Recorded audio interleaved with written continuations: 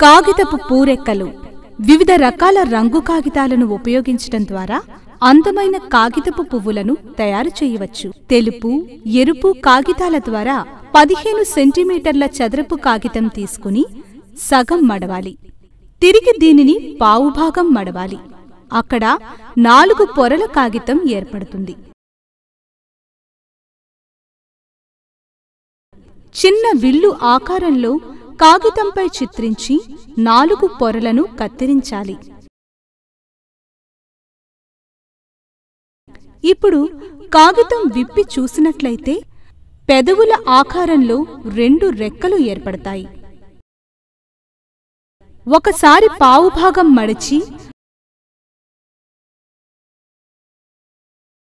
వాటి మధ్య వంకరగా ఉండే గీతలను కత్తిరించాలి.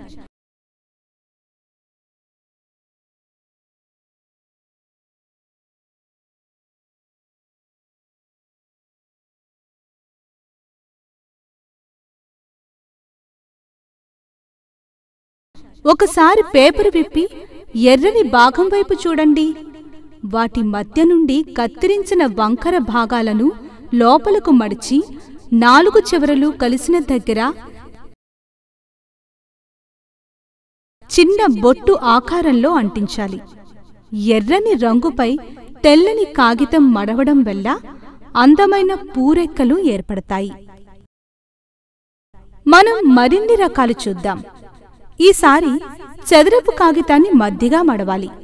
తిరిగి పావు భాగం మడవాలి. మరలా పావు భాగాన్ని మధ్యగా మడవాలి. ఇది వన్ ఎయిట్ త్రిభుజంగా ఉంటుంది.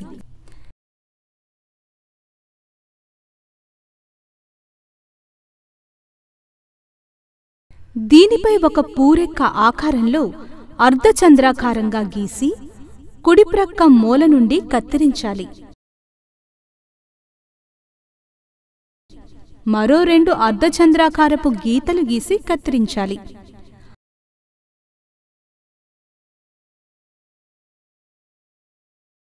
అప్పుడు నెమ్మదిగా విప్పి చూడండి. నాలుగు రెక్కల పువ్వు ఏర్పడుతుంది.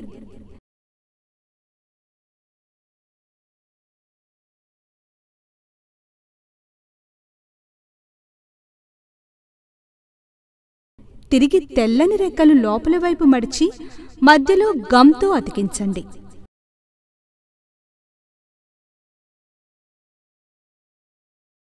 ఇది చాలా అందంగా నాలుగు సమాన రెక్కలు గల పువ్వుగా కనబడుతుంది. మనం ఇలాగే మరో వ్యత్యాసం చూద్దాం. రెండు వరుసల కాగితం తీసుకుని అరవై డిగ్రీలుగా మడిచి తిరిగి పైన ముప్పై డిగ్రీలు వచ్చేటట్లు సగానికి మడవాలి.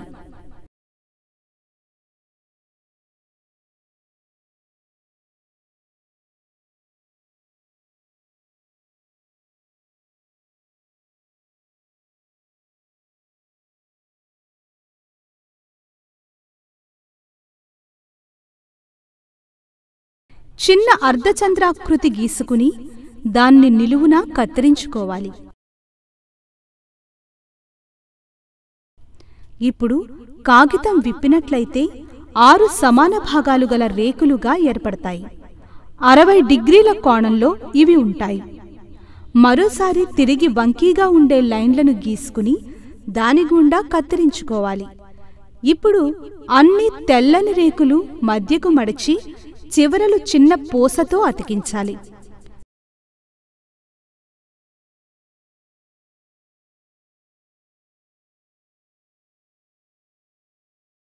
ఇది చూడడానికి చాలా అందమైన మరియు ఘనమైన నమూనాగా కనబడుతుంది.